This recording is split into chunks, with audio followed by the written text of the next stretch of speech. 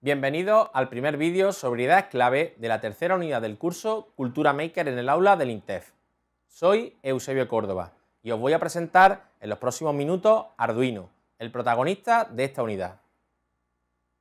Este es Arduino, un dispositivo electrónico Open Hardware que puede ser programado con un entorno libre y que tiene una gran documentación, con muchos ejemplos, libremente disponibles. Veamos algunos detalles.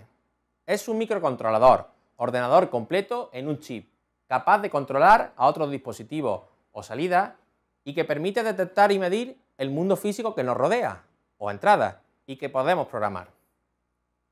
En cada proyecto necesitaremos, además, los sensores y los actuadores.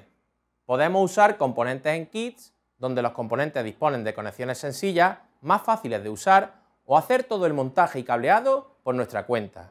Para empezar, es recomendable usar un kit, con el que conseguiremos hacer un montaje de una forma más sencilla y con menores posibilidades de error.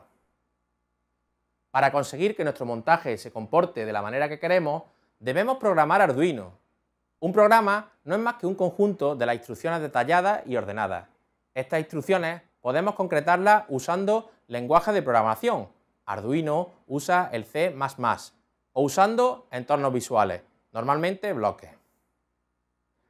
La naturaleza totalmente libre y abierta de Arduino ha permitido que existan muchas variantes de la placa original, adaptadas a las diferentes necesidades de cada proyecto. Versiones de Arduino son 1, el modelo estándar, Mini para proyectos pequeños, Mega para proyectos grandes y Lilipad para proyectos textiles. Vamos a continuar adentrándonos en la programación de Arduino. Compartid vuestra experiencia en el curso a través de las redes.